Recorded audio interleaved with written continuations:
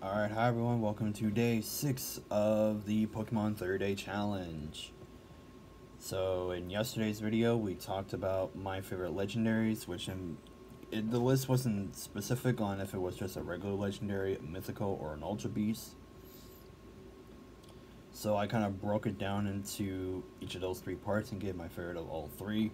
Legendary being Dialga, Mythical being Mew, and Ultra Beast being Buzzwole. So today we're gonna get a little scary.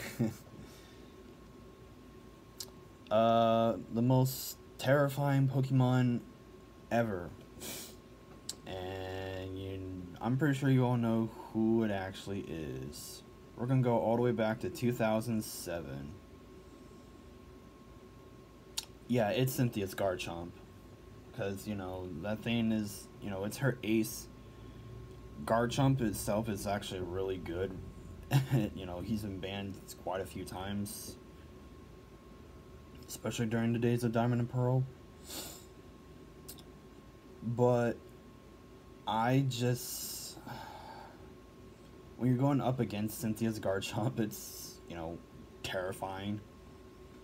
So I guess that's why that Garchomp is, to me, the most terrifying Pokemon to go up against.